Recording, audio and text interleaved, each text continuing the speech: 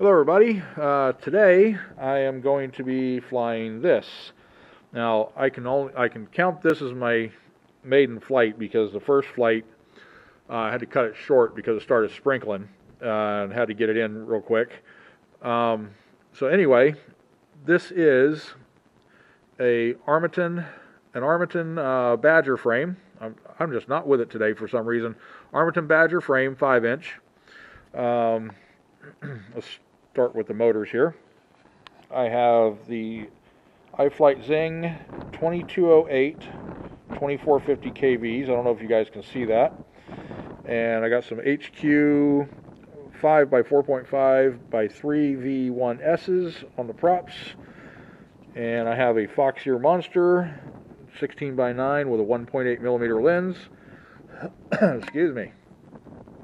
And uh, let's see, got a Pyrodrone F4 flight controller and a an Aikon 35 amp 4-in-1 ESC, a TBS Unify Pro VTX, and a an RSXR FrSky receiver, and a W um, Menace RC Stubby Pagoda VTX, and of course I got my Hellgate 2 buzzer in here.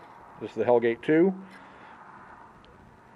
And of course I'm still using the Lumenier Kevlar straps, which I've started using on everything. All three of my quads have the Kevlars, and I'm not switching to anything else. Uh, by the way, I will put the full details of what's in here because I can't remember off the top of my head in the description so you guys can take a look at it. And uh, I'm wondering how this thing's going to do. This is going to be the true maiden flight here.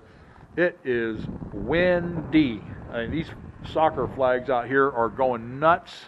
It is gusting like crazy. So I don't know how well this flight's going to go, and I've I've noticed that it's, it's quite difficult to stick the tricks in the wind, especially when it's gusting really bad. And it's it's not bad down here, not near as bad down here on ground level as it is up about 50 to 100 feet.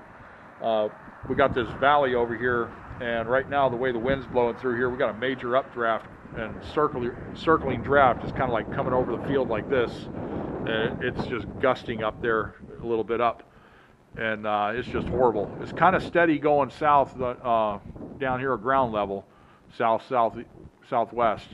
So we'll see what happens. That uh, that swirling wind. I was having a lot of trouble with my three-inch quads out here uh, even though they can handle the wind quite well, but I just could not stick a trick for nothing. So we'll see how this 5-inch does.